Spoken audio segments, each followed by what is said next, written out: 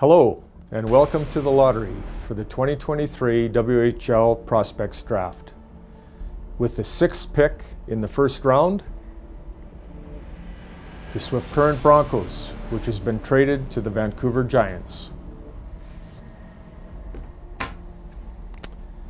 The fifth pick in the first round belongs to the Brandon Wheat Kings. The fourth pick in the first round belongs to the Victoria Royals. This means that the Prince Albert Raiders have won the lottery and have moved up to second overall. With the third pick, it will be the Spokane Chiefs. The second pick in the first round then belongs to the Prince Albert Raiders, who won the lottery today.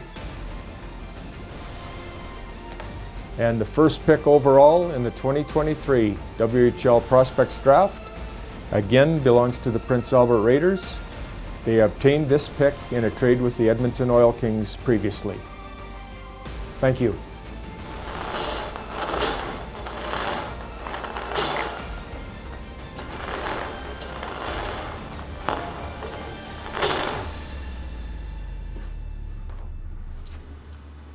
A Prince Albert Raiders ball has been drawn.